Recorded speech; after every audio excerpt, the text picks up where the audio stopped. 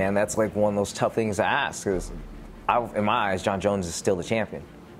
Daniel Cormier is just holding that belt and keeping it nice and warm, but he never really won that title.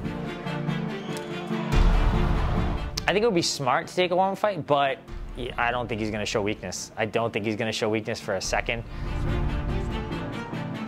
My opinion is he should just move up to heavyweight. You know, it's like he dominated, he took time off. I think like it just makes more sense. I don't know. I think he should just go and face DC because you know we know that guy. You know he's, you know, he, will, he'll be gone again after it. Something else will happen to him. He always gets himself into trouble. So I really want to see the fight. I want to see DC Jones, you know, number two. So I want him to, to fight DC. When Daniel fought Rumble, those are two big, strong guys, and Daniel made Rumble look smaller because he did used to fight at 170. He was trying to find his place and where to fight at, but he's an Olympic athlete, and Jon played with him for five rounds. I think he could beat him whether he took the fight now. Maybe he wants a warm-up fight just to work his way back in there, or he wants his belt back right now. I'm assuming that that's the one because Jon is, he, that's who he is. I think he's gonna go get that belt back, and that's how it's gonna be, man.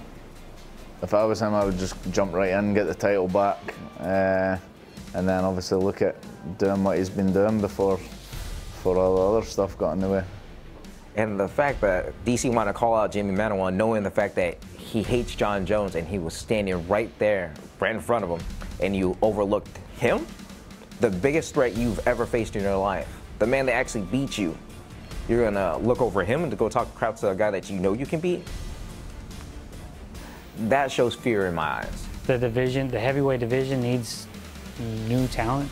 I feel like a lot of those guys uh, get chinny quicker.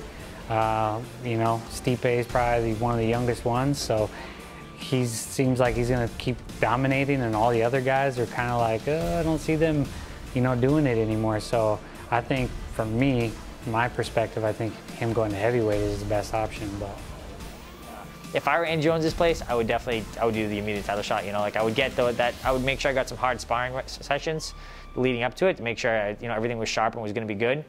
But I would go right at him.